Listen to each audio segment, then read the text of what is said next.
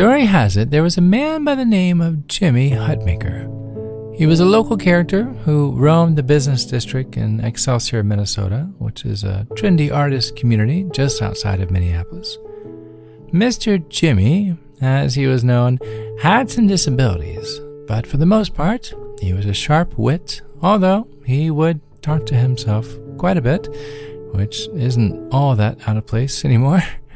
Going from spot to spot, he walked miles every day and was cared for by the local shop owners until he passed in October of 2007.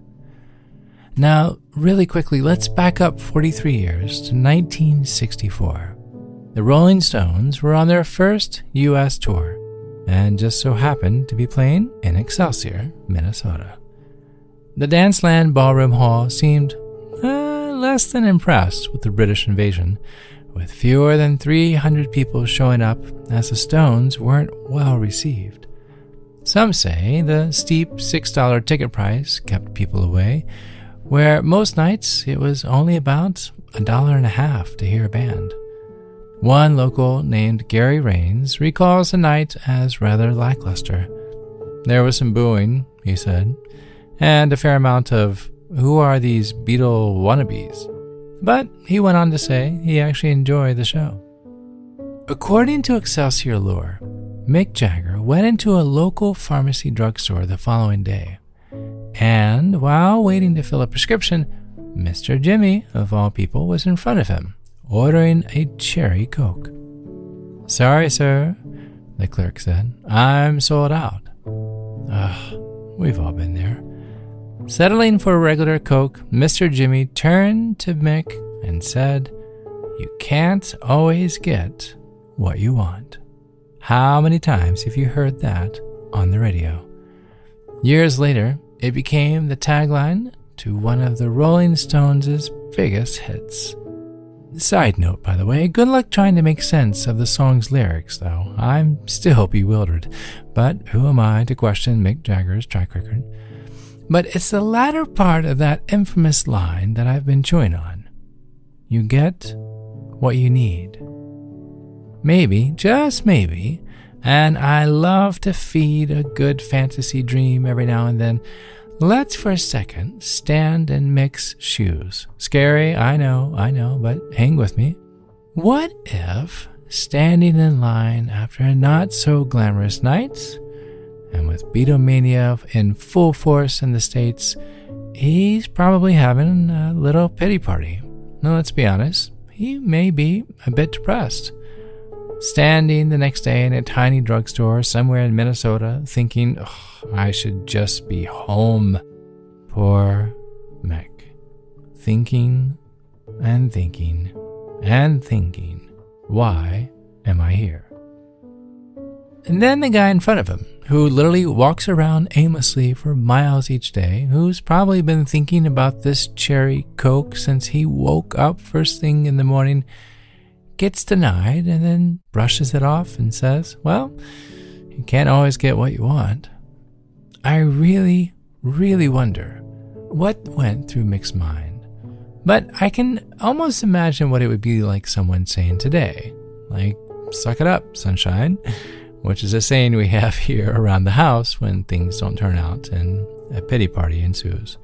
But depression is sneaky like that. It can come in so many different shapes and sizes. I'm not saying Mick was depressed, but if I had my guesses, and having been in his shoes of playing to some empty rooms myself, I would venture to say catching an unsuspecting dose of reality will leave any of us and an emotional funk, no matter the stage we entertain. In an overly simplified definition, that's what depression is. What you hoped for didn't happen. Again, I realize I'm oversimplifying it, and like I said, it comes in all sizes. But when we step back and we look at the circumstance, whether it's losing a loved one, or failing a test, or tanking a project at work. In the end, depression is a reaction of an unwanted outcome. But As Mr. Jagger went on to say, if you try some time, yeah, you just might find you get what you need. So, let's find what we need. Let's take a few steps back demystify depression. Join me for part one of this three part series as we come to understand we can't always get what we want. And while that can be the case, sometimes we come to find just what we need.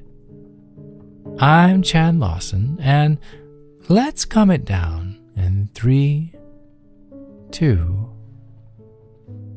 one.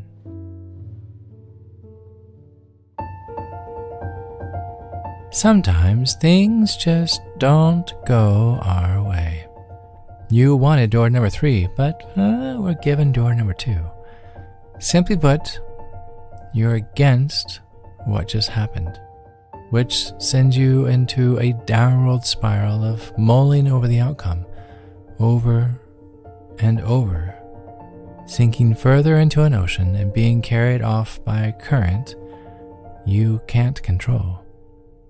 That's depression. I'm sure I'm not telling you anything you don't already know, but seeing it visually helps our understanding of where we are and what steps we need to take in swimming to safer waters. So today I'm going to share one anchor. Again, this is part one of three. One anchor that will hold us in place until the emotional storm has passed. Because, as with every storm, guess what? It will eventually pass. As hard as it is, wait out the storm. Change the channel. Have you ever started watching a really, really bad movie and said to yourself, Why am I watching this? The new Wonder Woman 1984 comes to mind, but instead of turning it, you just keep watching, hoping desperately for it to get better. And as with WW 1984, it never did. Our thought patterns are the same. The fancy term is called ruminating, but it basically means when you think and think some more, and then rethink and think even more of the same dark, sad thought. It's ruminating. Rehashing the same thought over and over displaces any hope of moving forward in a positive step. But there is a way out of this, and you're going to be insanely surprised how simple it is, all by changing one single word which will have a most promising effect. Erase the word why from your vocabulary. Why? Why did I do that? Why did that happen? Why do I have to think this way? Why?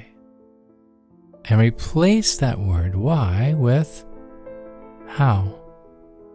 How do I do this better next time? How do I make sure that doesn't happen again? How can I look at my circumstance in a different way? The power of a single word is like changing the channel of a bad movie into something different. Or even better yet, turn it off. Changing the scenario literally by going outside, even for 15 minutes, as you purposefully reframe the whys into hows. Depression is such a vast, encompassing topic that I would be kidding myself that a 15 minute podcast episode would solve any and all problems. So, as I mentioned, this is the first in a series that we will take over the next few weeks to break down the habits and the behaviors of this dark cloud we call depression. And while I've stated many times before, I don't profess to have every answer. But together, and along with trained professionals, we can find our way out of the currents of chaos into calmer waters. I'm just grateful to have you along as we swim these oceans together.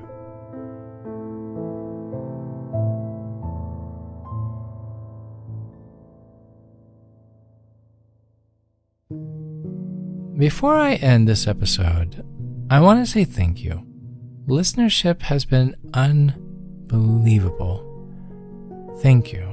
I could not be more grateful than to have you walking these steps by my side as we learn how to work through our ups and our downs and our laughs and our cries.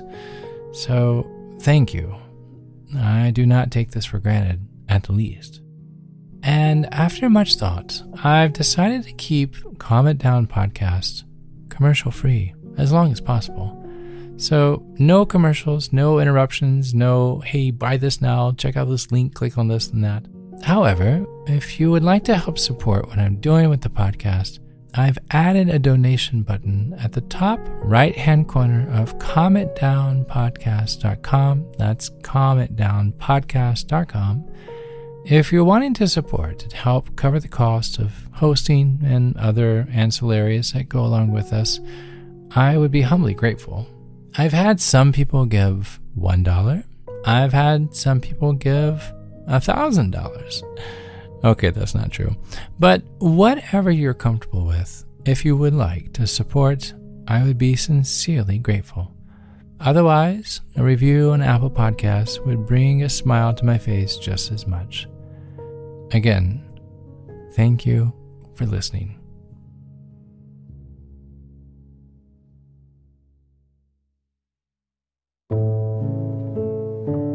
To find more episodes of Calm It Down, hear the musical playlist from today's episode, or simply wanting to know where to send chocolate chip cookies, visit calmitdownpodcast.com. You'll even find additional resources for emotional support, including our online community and our Facebook page. You're not alone. You are not alone. This podcast was written and produced by yours truly, Chad Lawson, composer, pianist, and nationally recognized Sweet Tooth. And now, something my attorney wants me to say. The views, expressions, and techniques in this episode are of my personal opinion and is not intended to, nor should they serve as a substitute for medical advice or diagnosis rendered to you by your individual doctor or other healthcare provider. Only a licensed physician should evaluate your situation, provide a diagnosis, or render other medical advice to you, and you should only act upon the advice of such physician. Now, what I like to say I am an extreme empath by nature but my profession is that of a composer and pianist, not a licensed therapist or physician. I hear from thousands of listeners how my music has helped them through various stages of emotional needs, and I simply want to offer this and future podcasts in aiding those needs. To find a list of licensed professionals in your area, please visit calmitdownpodcast.com. And finally, if you've enjoyed today's episode, please leave a review.